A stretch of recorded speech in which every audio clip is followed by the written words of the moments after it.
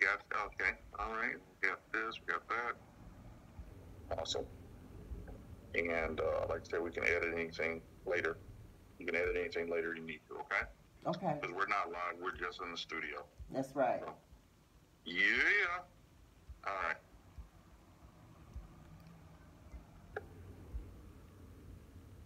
Well, Greetings, everyone. Welcome to Dr. Lisa, uh, Alicia, the Preacher's uh, Ministries here. We are we're going to be doing a study starting today uh, on Hosea in the Old Testament of the Bible as we start our journey on talking about relationships, marriage, divorce, um, you know, lifestyles, uh, love styles.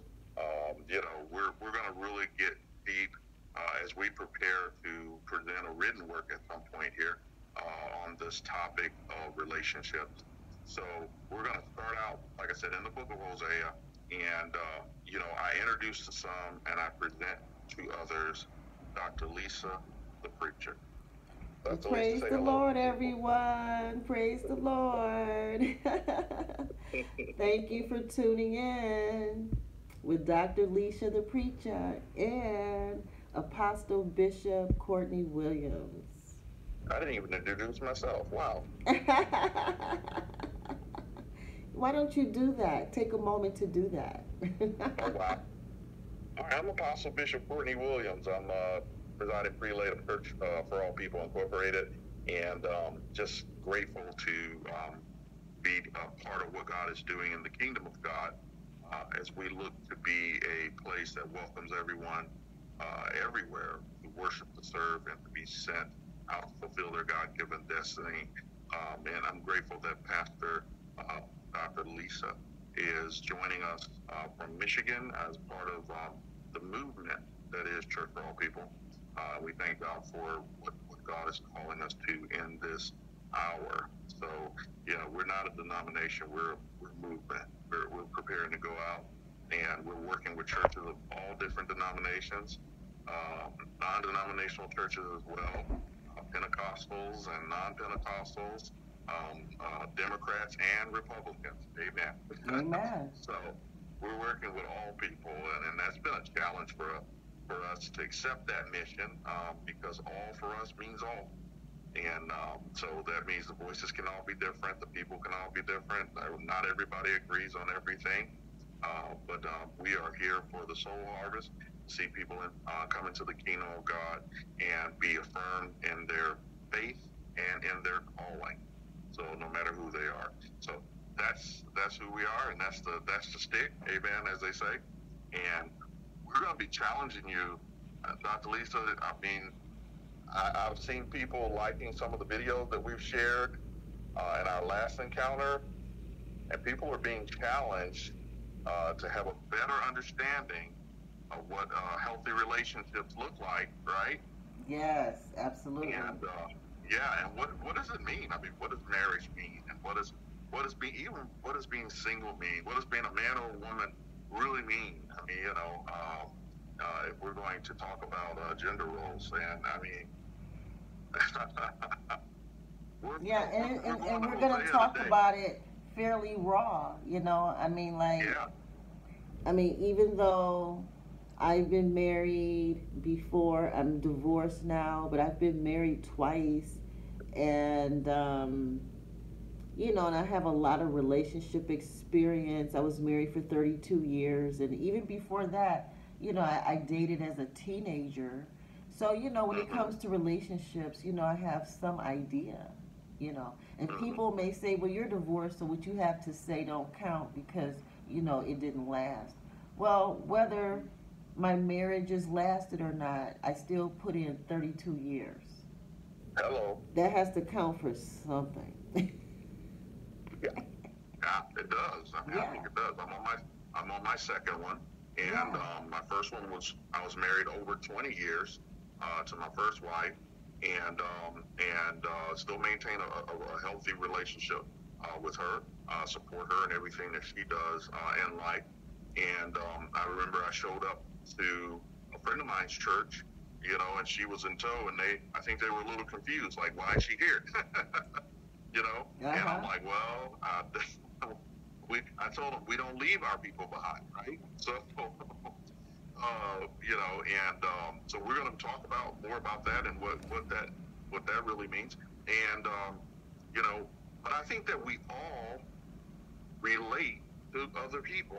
We all conduct ourselves and carry ourselves, you know, carry ourselves through the world or through the time, the brief scope of time that we're on this earth, maintaining relationships. What, no matter what that relationship is, it could be the relationship with your parents, your brother sister, like I said, or as we're going to be talking about, someone that you're connected to in marriage or divorce or whatever the case may be.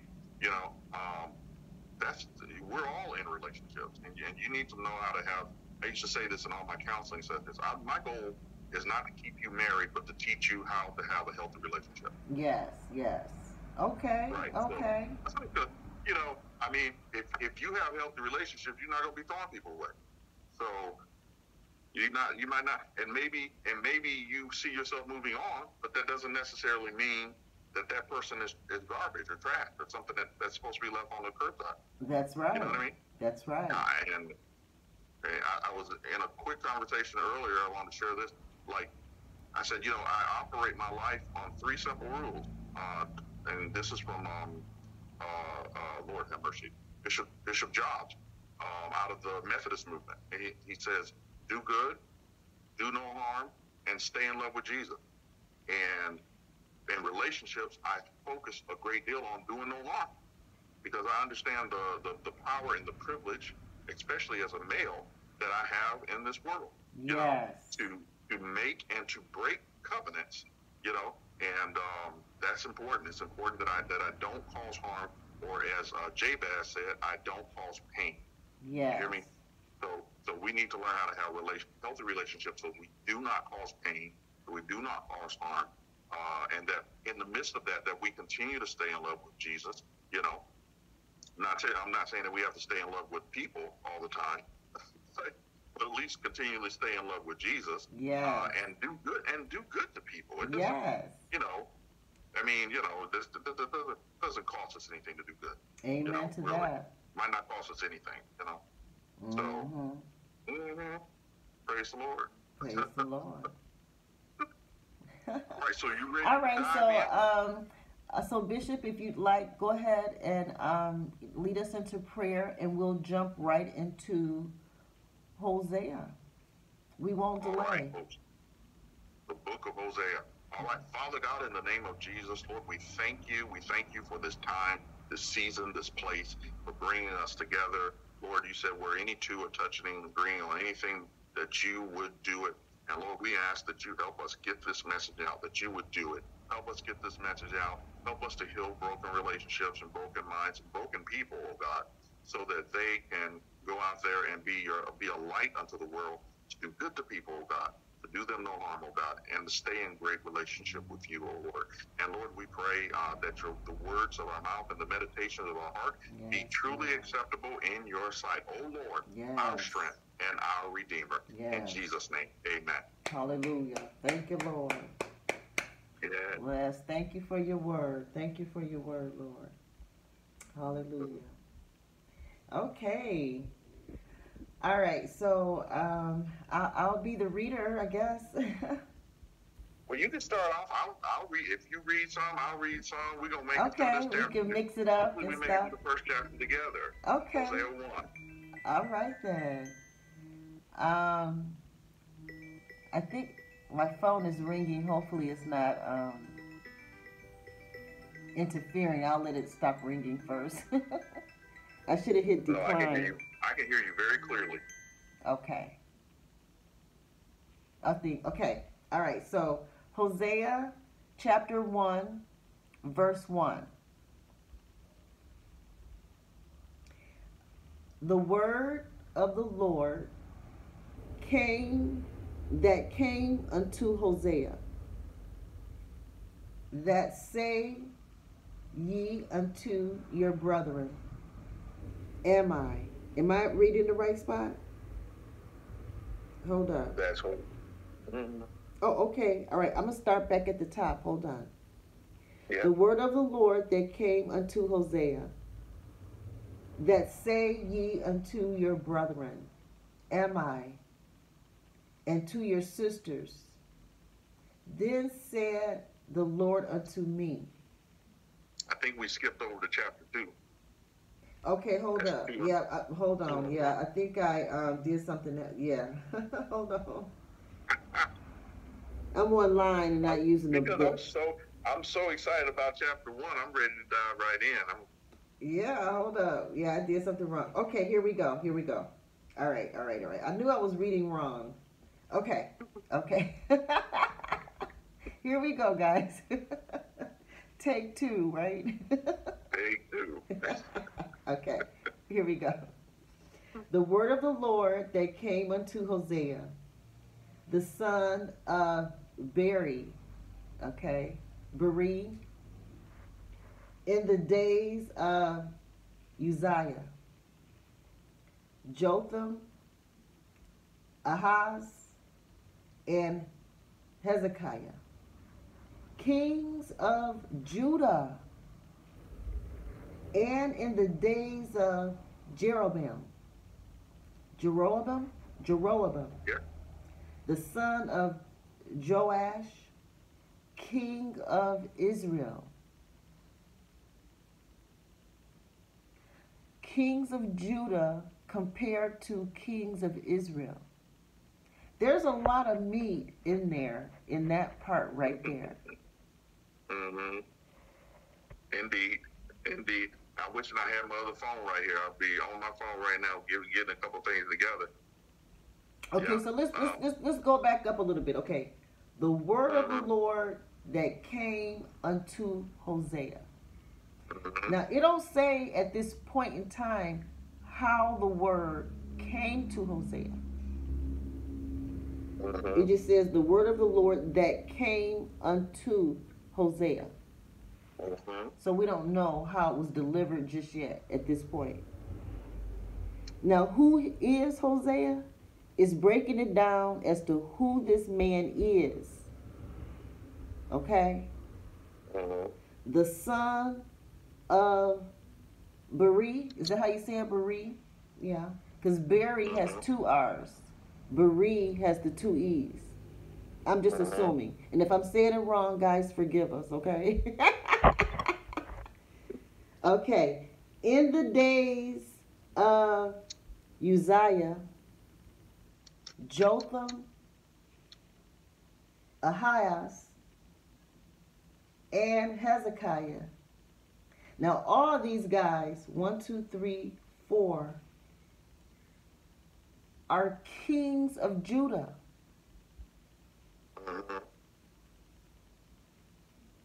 Kings of kings. Of, that, that's so important. Judah, though. Judah is one of the twelve tribes of Israel.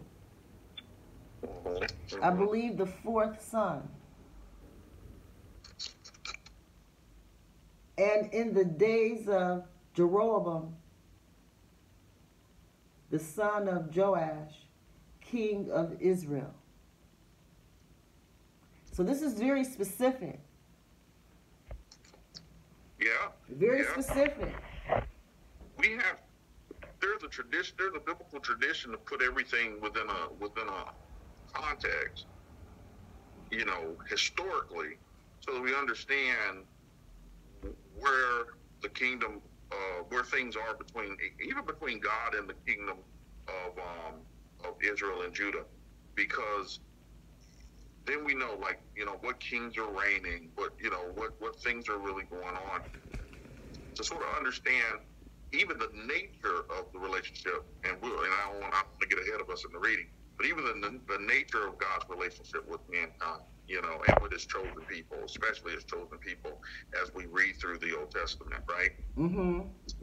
Now, it's, it's interesting that Uzziah is mentioned uh, because we we all know this uh, popular. I'm sure many of us know this popular uh, scripture. In the year that King Uzziah died, then I saw the Lord high and lifted up. Right, and there's this whole symphony of words used to describe the throne room of God, and and and literally, we see Hosea saying that he exists in the same time frame uh, right before the uh, Hosea is is literally prop, uh, being a prophet, a minor, what we call a minor prophet, in the time where Isaiah is alive. And then we get another prophet who actually talks about his experience, uh, his hearing of the voice of the Lord after the death of uh, Isaiah. So, so you sort of get to see where Hosea sort of fits in. So he he comes in before, then another prophet comes in behind him, and that's sort of how God sort of dealt with the prophets. You know, one would come in and prophesy and be be be the lead prophet, and then another would come after them, right?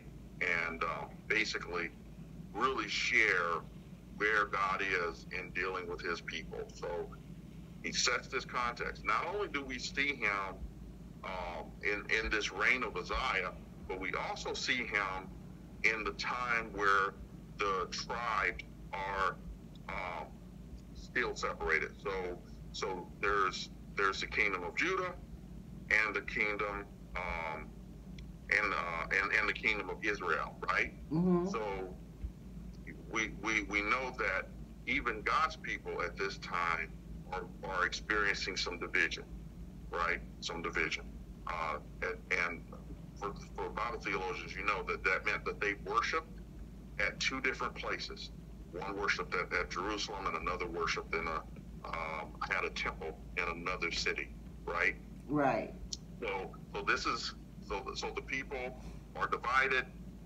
Um, Uzziah is is still alive, uh, and Hosea hears a word from the Lord. And what is that word? And and that's where we go from there. Okay, so that's where you'll pick up at verse two. Verse 2. So the beginning of the word of the Lord by Hosea. So this is the word of the Lord that's given to Hosea.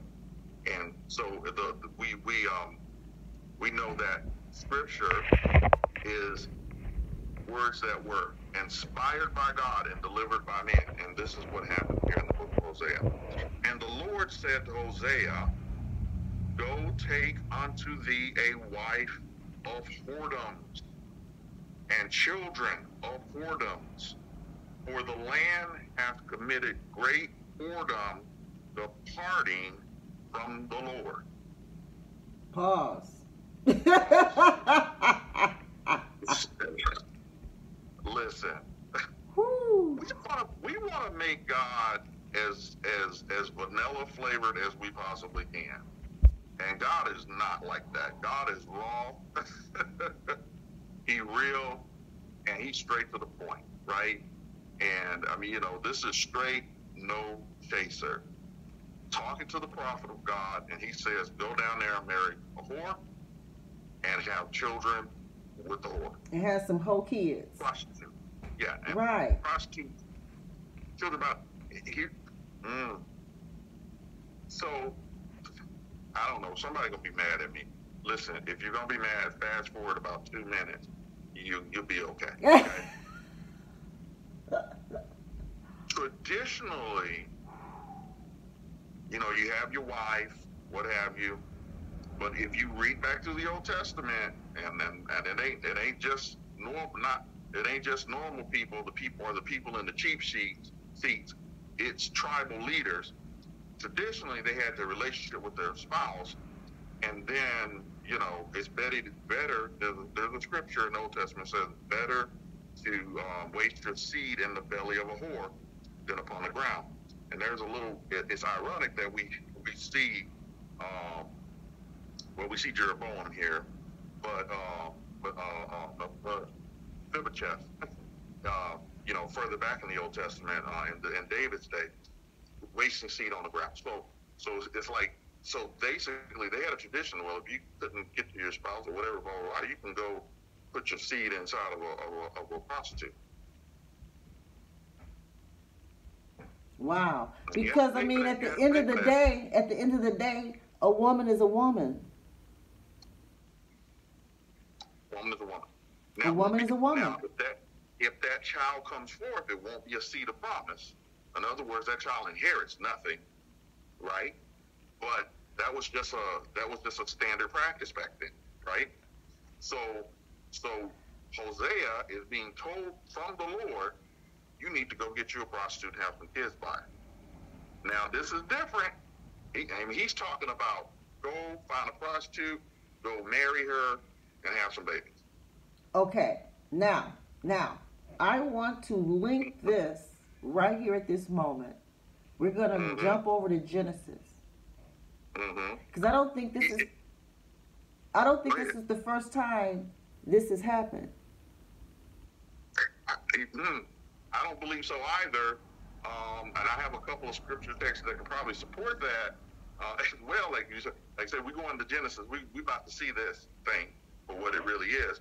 And um, he specifically uses this word, "Make her your wife." So go ahead, go ahead. Let's go to Genesis. Okay? Genesis chapter 2. All right. So put your finger right there, Hosea one. and we're gonna go all the way back. We're gonna go back, way, like they say, way back, back in Way time. back. we're gonna go to Genesis two, and we're gonna see here. The truth gonna come out tonight. That's all I can say about it. All right. Oh, you want to talk about this? Oh Lord. we kind of hit on it the other night while we were texting. We did. I know. We were texting back and forth about this. Um, yeah, yeah, yeah, yeah. I'm ready. Genesis chapter two. Okay. I should go grab my Bible instead of playing around with this uh, computer stuff, you know? okay, here we go. Genesis chapter 2. And let's go down to verse 4. Okay? hmm And I'm a romantic reader, so I like to romanticize even biblical stories. Just a little uh-huh. bit. That's just how I am. So, okay, so here we go. These are the generations of the heavens and of the earth when uh-huh. they were created. So God already created. To me, creation is like a, a mental thing, hmm you know. And then once things are created in the mind, then they can be made in the physical realm. hmm So God already created everything. And he also began to make stuff. So at this point, he's created and he's made stuff. Now he's down to the final stage of his making process. hmm The making. Okay? Mhm. So so let me continue. In the oh oh oh, and I wanted to mention that people don't understand that we don't only have generations on this earth. We have generations in heaven too. hmm That's what it says right here. Generations of the heavens. What does that mean? Generations of the heavens? We won't, eh, you know, elaborate on it tonight, but it just makes you go, what? But here we go. Generations of the heavens and of the earth when they were created in the day that the Lord God made the earth and the heavens. So he creates and he makes. Verse 5 And every plant of the field before it was in the earth, and every herb of the field before it grew. See how he creates things even before they're there. you know? hmm For the Lord God had not caused it to rain upon the earth. It hasn't rained yet. Now we don't know how long the earth has been around. He just created and made everything right. But it hasn't rained yet. So we're not sure how much time has gone by. But however much time has gone by, it has not rained. I'm not sure why that's important, but it stated it. So here we go.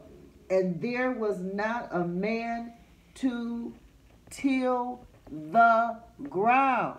Now, at this point, man was not even made yet. He was created, thought about in the mind of the Lord, but he uh-huh. had not been physically made yet. But God already knew he was going to come here and work. till the ground? Till the ground? gonna have, you gonna have to bring this home for me because I'm trying to see where we at. We getting there. you know, Here we go. Here we go. Come on, like, 'cause we gotta get we gotta get to Hosea. Come on, let's see what where we at. Where God had not caused it to rain upon the earth, and there was not a man to till the ground. Man wasn't made yet, but God knew that when He did make him, He made him to do what, Bishop? Mhm. To do what? Based on that. Till the ground. till the ground. Word. Okay, there we go. Yes, he made them. Yes, yes, yes, yes, yes, yes. Yeah. Okay, Yes. verse 6. But there went up a mist from the earth. Now, see, God made a request. He made a request. He says, I don't have a man. So, what happens? What happens when he says he don't have a man? There went up a mist from the earth. So, at this point, just like, just like Hosea, Most High Himself called Himself a woman, called Himself a prostitute right here at this moment. And what was this prostitute to do? This woman, this earth to do? Produce him what? Mhm. A man, a child, a seed. Made of what? Her water and her dirt. All right, all right. So this is the first marriage, the first time God asked a woman to produce for him. To produce. Okay. Listen. So, so we have the creation story is a beautiful thing, in that it's a, it's a multiplicity of stories because we don't it's not actually chronological and it it, it, it, it repeats itself because it's re, it's a retelling over and over and over again of this of this beautiful symphony of how things happened. You know what I mean? Right, right. Um, and um, so we see we we see the, uh, um, the, the the well the creation or the coming together in order to set the world in order, and not just set the world in order to set all of creation into order. Um, so I can I can see where you're coming from. Okay, so then it says, But there went up a mist from the earth and watered the whole face of the ground. So the earth was so excited to be able to do this for the Lord, to give the Mhm. Lord Most High a man, a child. The whole Mhm. surface was wet. Mm-hmm, mm-hmm, It hadn't rained, mm-hmm. but somehow moisture happened. But we already know that there was water on the earth because, you know, it was all separated out and all this, that, and the other. But at the end of the day, the earth eagerly provided a man for the Lord upon his request. Mm-hmm. And then it says, and the Lord God formed man of the dust. So whatever the earth rendered up, mist and some dirt, dust, God used it. He used that dust Mhm. of the ground and breathed his nostrils the breath of life, and man became a living soul. Mm-hmm. Now let's go back to Hosea. I can't go back to Hosea yet. You can't go. Oh! the, the reason why I can't is because we're talking about the uh, uh, we're talking about the marrying of of, of, a prostitute. Prostitute, a a, dirty, a dirty old broad. okay, well I guess the, well the earth is a dirty old broad. Then okay, we're talking about the marrying. I mean, look how we treat our earth. Look at how we treat the earth. But we trash it up. That's poignant. I think that that's poignant because yeah, that it's I mean, the whole the whole essence of the story of Hosea is to put ourselves in in the place of primarily in the place of the prostitute because he calls us the children he calls the children of Israel Judah and all of them, you know, a whore, right? And he does it over and over again. It's not the only time. We don't only see it in Hosea.